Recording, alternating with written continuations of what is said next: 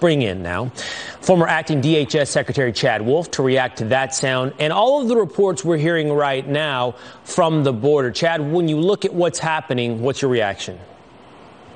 Well, it's devastating. Uh, obviously, the border wall system needs to be completed. We had over 500 miles of that border wall system completed by the end of the Trump administration.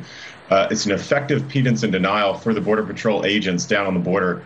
Uh, everyone I've talked to over the past four years, every one of those agents have said they needed that type of border wall system. Um, and so it's just a real shame that the Biden administration stopped construction because at the end of the day, that's going to help secure the border uh, more than almost anything else that uh, that we can do. Uh, so it's a, a, real concern. Yeah, you know, Chad, you're talking about securing the border, the border wall, all important points. People looking at these images, though, are saying, what do we do about all these people? They're here now, right? We can talk about who's responsible, what's the cause, but regardless, they are here. And 700 plus percent capacity in some of these centers is just not a tenable situation. So what do we do?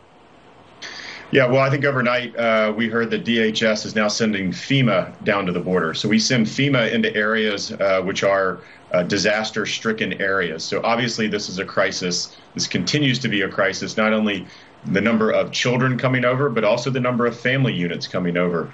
Uh, and so you have to care for each of those populations. But at the end of the day, this is also about the policies and the type of messaging uh, that is going out from the administration continuing to fuel this crisis. So it's okay to send individuals down there uh, to care for these individuals or to construct facilities to care for uh, these populations but you have to send the signal that this has to stop. And so that's what I'm most concerned about is where does this go over the next several months? I see this getting uh, worse and not better over the long term. Chad, you can play the what if it were Trump game a bit too often, but in this particular case, those images of that overpass, uh, the, the, the temporary processing center of people penned in under an overpass outdoors, presumably no shower facility, all of those things. If this were the Trump administration, when you were the acting DHS, DHS secretary, you can imagine the reaction. What, what should the reaction be to this?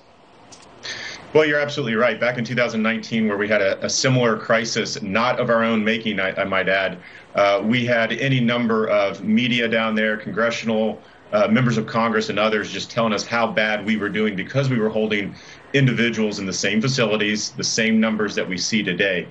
Um, so that's disappointing. But Two, there are tools on, you know, tools that the current administration can use. Title 42, they have chosen not to use that for minors coming across, which is fueling the crisis today. So the Biden administration today, if you are a minor from Mexico, they will turn you around. But if you are a minor from Northern Triangle, they will not turn you around.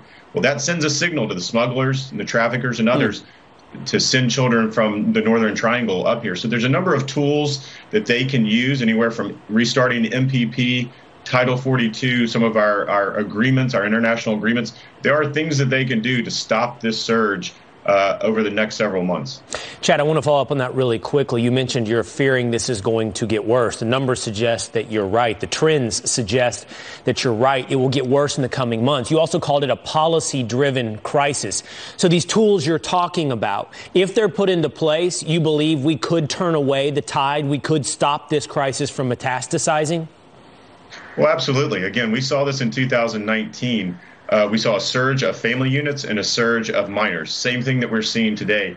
And we had to, we asked Congress for certain authorities. Uh, that never uh, materialized. So we had to put in policies and procedures that the administration, the executive branch can do things like the migrant protection protocols or the Remain in Mexico program. Then we utilized Title 42 during a COVID uh, pandemic. So there are tools on the on the shelf that the Biden administration can use. They've chosen not to use it. And in many cases, they stopped using it uh, come January 20th of this year. So there are things they can do. I guess the big question is, uh, how did they let it get to this? Uh, they knew uh, that they were going to have a surge. Uh, the numbers showed that. And so the question is, why are they responding in the way that they are now? Why didn't they have this done prior to? Yep. Chad Wolf, thank you very much for joining us. Thank we appreciate you, it. All right, thank you.